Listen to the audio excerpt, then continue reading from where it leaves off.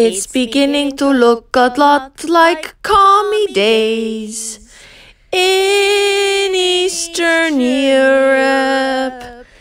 In the 1980s, empty shelves and people fighting for food. It's beginning to look a lot like commie days, like it did in Eastern Europe. In the 1980s, empty shelves and people fighting for, for food. But not toilet paper. But not toilet paper.